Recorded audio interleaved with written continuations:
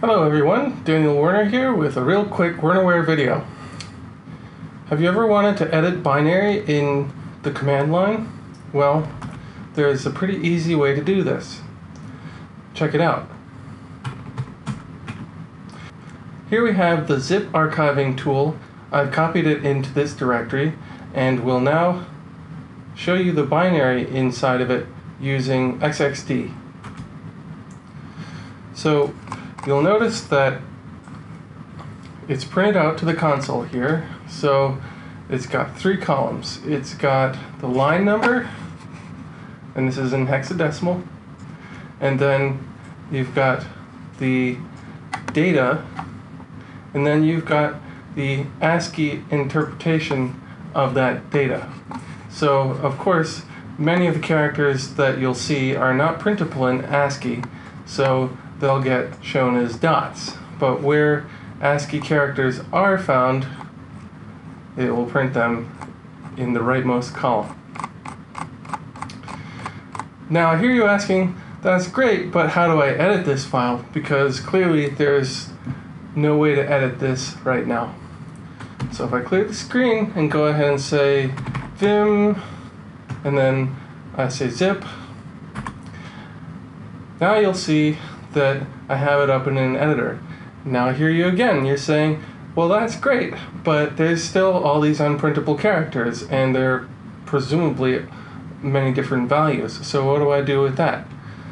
So we can go ahead and do colon percent bang and then xxd and you will see that you get to edit this document in the format you saw at the command line in Vim.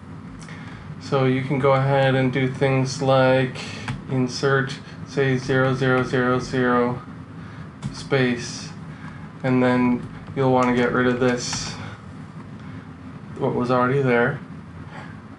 And then when you want to save it, you could go escape and then WQ but you'll notice that actually what's happened here is you've changed the format of the file. Go back into Vim,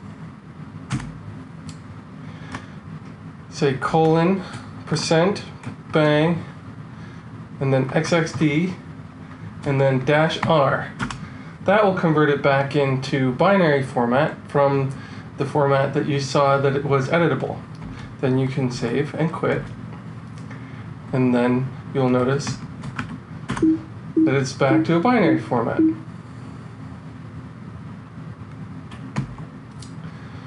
So one thing worth mentioning here is that if you that if you've edited this file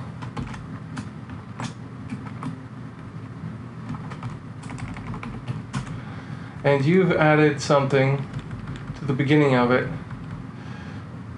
the end of that line will actually be truncated. So if you've added anything additional to this line here, say you just added all these zeros without then removing what was in its place, it just kind of pushes things off the end of this list here, and what was at the end of the line is, is gone forever. So it's not like you can just add uh, to the binary format as if it was a text editor here. You have to replace things as they are in the location they're found. Otherwise, you're going to have to find a more sophisticated way to edit the file.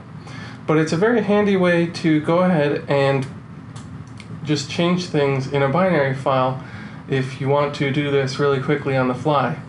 There's a lot of more cool ways to use XXD, but this is a great way to start.